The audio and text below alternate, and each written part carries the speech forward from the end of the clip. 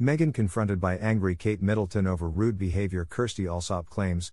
Kirstie Allsopp has claimed her friend Kate Middleton previously confronted Meghan Markle when she found out the Duchess of Sussex was being rude to staff at Kensington Palace. Location, location, location presenter Kirstie Allsopp, 50, has shed some light on Meghan Markle's claims that Kate Middleton, 39, made her cry during an argument in May 2018 the Duchess of Sussex opened up about the road during her bombshell interview with Oprah Winfrey earlier this year. However, Kate's friend Kirstie has now claimed that Meghan failed to tell Oprah that their disagreement was about the former Suits actress' alleged bullying of staff at Kensington Palace. Kirstie has claimed the Duchess of Cambridge confronted Meghan at the time after hearing she was being rude to staff.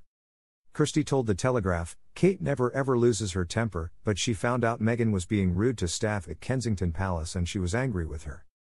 Then, Kate burst into tears because she'd lost control and she did take Meghan flowers to try and patch things up. Meghan was accused of bullying aides at Buckingham Palace when she was a senior member of the royal family, after marrying Prince Harry. The Duchess denied the accusations in a statement to royal reporter Omid Scobie. It read, The Duchess is saddened by this latest attack on her character, particularly as someone who has been the target of bullying herself and is deeply committed to supporting those who have experienced pain and trauma. She is determined to continue her work building compassion around the world and will keep striving to set an example for doing what is right and doing what is good.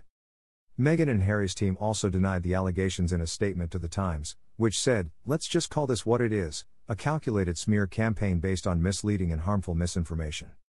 We are disappointed to see this defamatory portrayal of the Duchess of Sussex given credibility by a media outlet.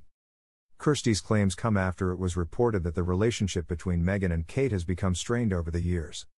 In 2018, it was reported that Meghan also made Kate cry over her demands for Princess Charlotte's bridesmaid dress ahead of her royal wedding to Prince Harry. Meghan later denied these claims in her interview with Oprah, saying the reverse happened and that Kate had apologized to her for making her cry.